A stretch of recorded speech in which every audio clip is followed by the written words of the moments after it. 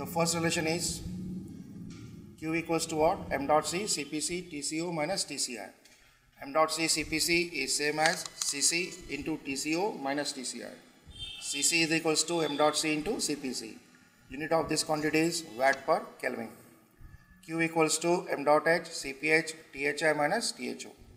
M dot H into CPH is CH. So this is THI minus THO.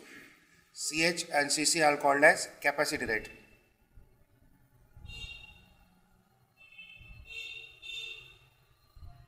Where M dot and CPC are called as mass flow rate and specific heat. We have either three conditions. One is CH equal to CC or CH greater than CC or CH less than CC. In the first case, CH equal to CC equal to C minimum equal to C max. In this case, CC equals to C minimum and CH equal to C max. For this case, CC equal to Cmax or CH equals to C minimum. The capacity rate ratio is always defined as C minimum by Cmax equals to 1. In this and CR equal to what? And the effectiveness effectiveness is defined as the actual heat transfer divided by maximum heat transfer. Actual heat transfer is given by Cc into TCO or is also given by Ch into THI minus THO. For maximum, we have to select C to U. So it is basically denominator it should be equals to what? C minimum multiplied by THI minus TCI and this should be C minimum should be THI minus TCI. Now for parallel flow, the effectiveness is given by 1 minus e to the power minus NTU into 1 plus CR and whole thing is divided by 1 plus CR. In case of counter flow, effectiveness is given by 1 minus e to the power minus NTU into 1 minus CR and is divided by 1 minus CR e to the power minus NTU into 1 minus CR. And in case of counter flow, if CH equal to CC equal to C minimum equal to C max or we can say CR equals to 1 that is the usual case for counter flow. So in that case effectiveness is given by NTU upon 1 plus NTU and in case of condenser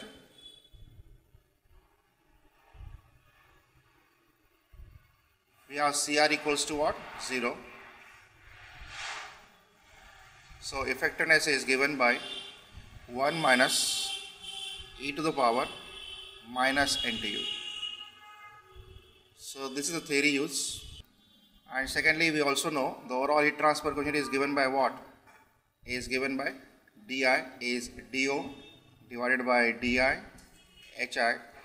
plus 1 upon ho plus is it K? overall heat coefficient is given as do upon di into hi plus 1 upon ho plus do by 2 kl into ln of do by di. This is thermal conductivity of the pipe. If the thermal conductivity of pipe is not given, force this term equals to what? 0. If the tube is thin, then make di equals to what? do. If di equals to do, then what is 1 upon u0? So 1 upon u0 1 upon hi plus 1 upon ho. What type of heat exchanger it is? Counter flow. If the mass of hot fluid is given, Cp of hot fluid is given, can we calculate C and mass of cold fluid is given, specific heat is given, U is given, A is given. We want to calculate THO, TCI and the rate of heat transfer equals to Q. So we have first CH. CH is given by m dot h multiplied by CPH. That value equals to 3 multiplied by 1. m dot h is 3. CPH is 1.05 multiplied by 1000 is 1050. So this value is 3150. Calculate is CC which is equals to uh, m dot C. m dot C is 3. CPC is 4200 that is in joules. So this value is 12,600. If you compare value of CH and CC, what we get this value equals to what? C minimum, C max. Calculate the value of CR. The value of CR is always C minimum by C is 3150. Max is 12600. So value of CR equals to, is it 0.25? Is defined as A0 multiplied by u of u0 we know the value of a0 and we know the value of c minimum also. So we'll put up a0 equals to 10 we can generate value of ntu which is 1.428 is given by 1 minus e to the power NTU and CR. NTU substitute as 1.428 and CRU as substitute as 0.25 and check that you are getting the effectiveness equals to 0.7189. is that effectiveness equals to what? CC multiplied by TCO. You find here CC is 12600. How much? Is 3150. TCO. TCO is what? 85.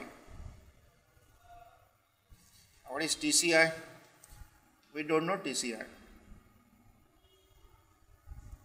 What is THI? THI is 500 minus TCI. So we can solve this equation and we can obtain the value of TCI. 0.927. Now to find out the value of THO, we'll use the second equation that is effectiveness equals to CH multiplied by THI minus THO. So let's put up here effectiveness equals to 0.7189 is same as C minimum. So that is get cancelled. CH is same as C minimum. So that is get cancelled. What is THI? Is 500. We don't know. THI is 500 and TCI we have just calculated is minus of minus 5.927. So if you solve this, you will get value of THO equals to. Finally, heat transfer you can calculate by any of the formula. One of the formula is CH into THI minus THO. Value of CH is 3150. THI is 500. THO we have just calculated is 136 heat transfer is come out to be 1.14566 that is watts. Or is 1.1456 megawatts. Okay let's go for second question. Counter flow heat exchanger so in the case of counterflow the direction of both the fluids will be opposite at 30 degrees celsius so cold fluid enters at 30 degree Celsius. Whereas the hot fluid enters at 120. Hot fluid enters at 120. We don't know the both temperatures. We don't know THO and we don't know even TCO. He has given the value of U0 400 watts per meter square Kelvin. Also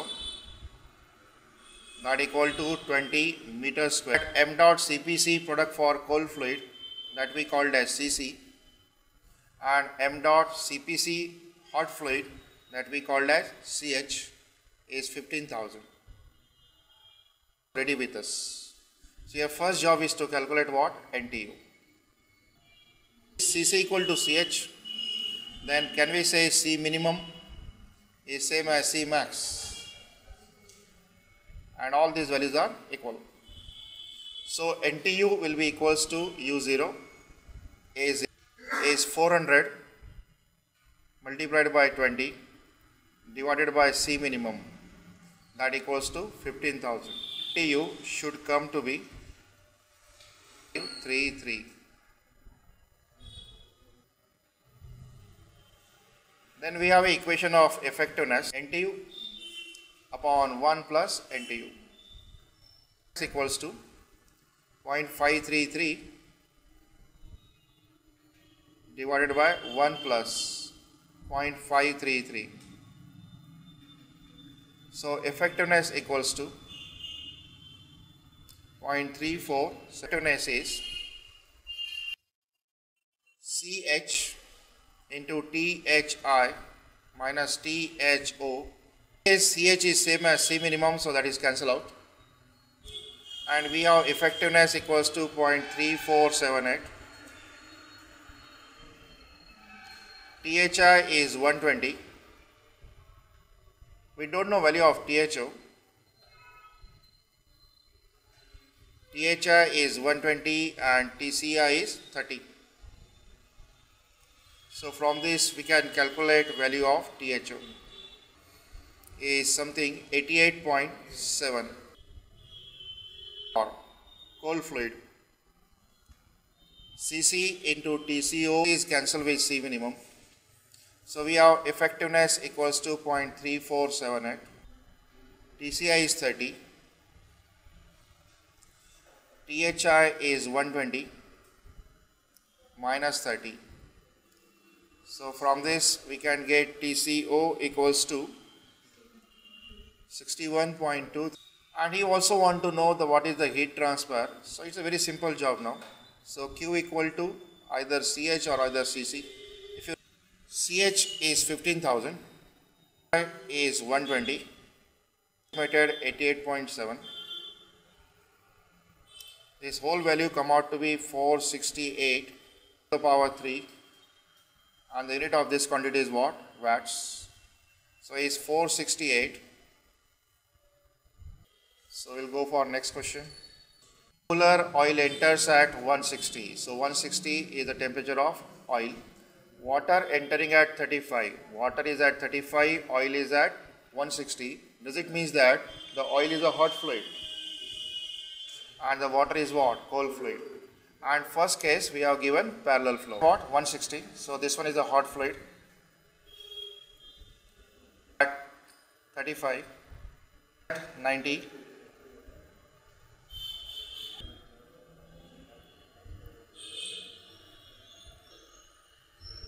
the temperature of oil and water if both the fluid will flow in opposite direction.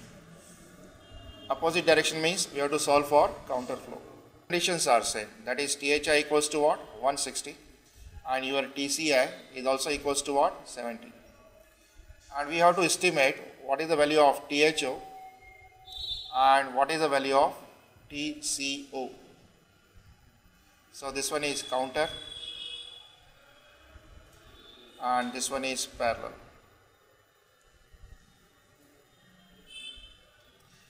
Assume that the flow rates of both the fluids U0 will remain constant and even you are using the same heat exchanger so area is also constant. Is okay? So m dot is constant there is no change in m dot, no change in Cp, no change in U0, no change in area also. So it will, because of this one, will the value of NTU, which is defined as C minimum, which is defined as A0 by C minimum, will it change or will not change? Will remain same. Why remain same? Because A0 for both, U0 for both, mass flow rate will remain same. So NTU for parallel is it same as NTU for counter. So can we able to calculate NTU from this? that you have to check first. So this one is which heat exchanger? Is a counter flow. Can we calculate CR? Can we calculate CR? Yes, we can. We have a same equation. Q equals to what? CH into THI minus THO. CH value equals to what? We don't know. But do you know THI is 160 minus THO equal to what? 90. So is this term is 70 times TCH. Secondly, we have Q equals to what? CC, which is equals to what? TCO minus TCI. We don't know CC, but you know TCO is 70 and this one is 35. So this one is 35 times of CC. If you take a ratio of 1 and 2, your Q will be cancelled. 70 times CH equal to 35 times CC. So we can very well say that 2 times of CH is equal to C. It means that the CC is more quantity as compared to CH. So we claim that C max is equal to CC, C minimum equals to CH and can we say CR equal to C minimum by C max is equal to 1 by 2 is equal to 0.5. So right, effectiveness for parallel flow is 1 minus e to the so we have to first calculate what is effectiveness. So effectiveness equals to what? Ch into thi minus tho upon c minimum into hi minus tci so we don't know CH. What is C? Is CH is same as C minimum? So that term is cancelled. So THI we have 160 minus 90 upon 160 minus 35. So you are getting effectiveness equals to, so effectiveness come out to be 0.56. Now we'll go to the first what 0.556 and find out NTU from this. Now this value of NTU is common to both heat exchanger and value of CR is common to both heat exchanger and even the ratio is also same because we are not change the mass flow rate that is CC equal to what 2 times of CH. To find out effectiveness of counter flow, we'll use the equation of effectiveness for counter flow is 1. Substitute for NTU equals to 1.22, CR equal to 0.5 and obtain the effectiveness for counter flow. So we obtain effectiveness equals to 0.627. Once we obtain effectiveness equal to 0.627, our two equations of effectiveness are ready. One is CH into THI minus THO upon C minimum into THI minus TCI. So we have a effectiveness of 0.627 is value of C minimum. So this is cancelled. So we get THI that equals to THI is 160 we don't have any idea about THO divided by 160 minus 35. So we obtain the value of THO equals to 81.75. Effectiveness is also equals to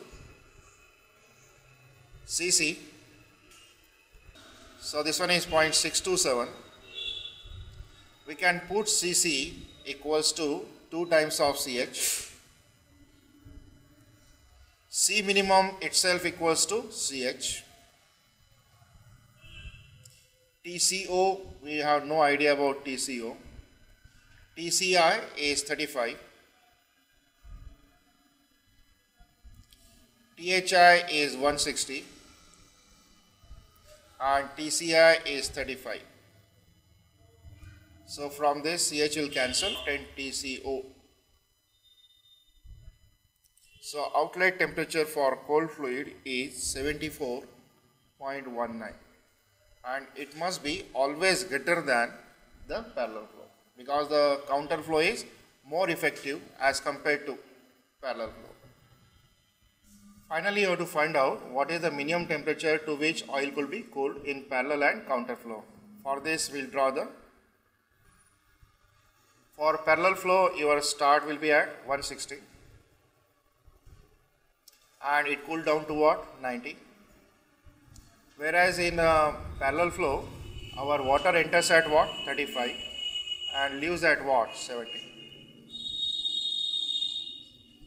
so can we cool this oil to minimum value equal to what? 70 agree? So minimum value of oil. That is ideal situation is 70 degrees Celsius. Whereas for counter flow, your THI is uh, 160, THO come out to be 81.75. In this case, the TCO will be like this. So this is direction opposite. TCI is present at this point is what? 35 and the TCO equals to 74.19. So ideally we can cool this oil to minimum temperature of what? 35. So T oil minimum temperature in case of counter flow is 35 degree Celsius. Go for next question. So a counter flow heat exchanger.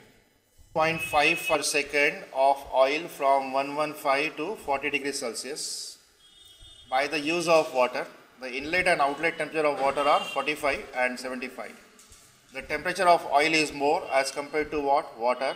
So oil is hot fluid. 115 40 degrees Celsius at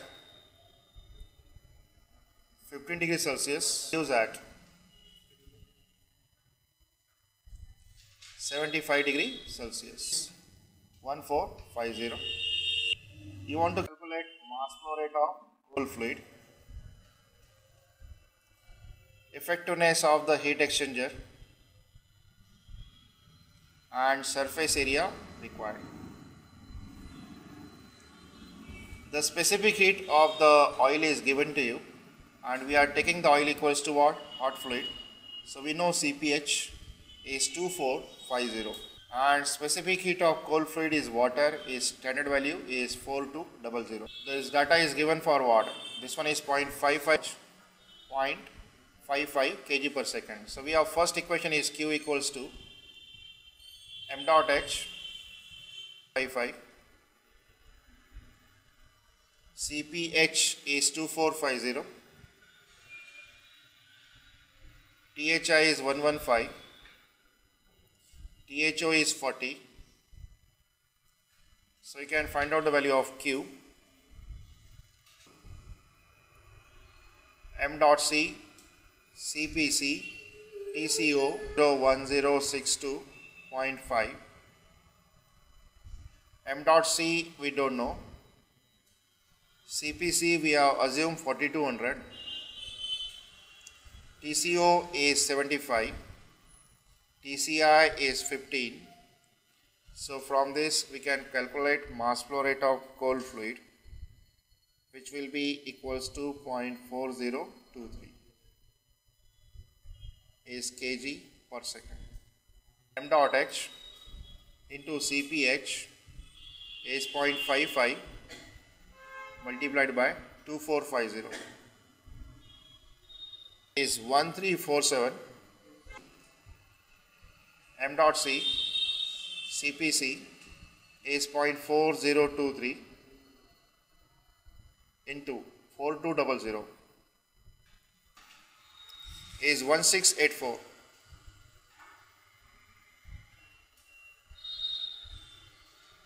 so from these two value 1347 and 1684 we can conclude C minimum is same as CH is 1347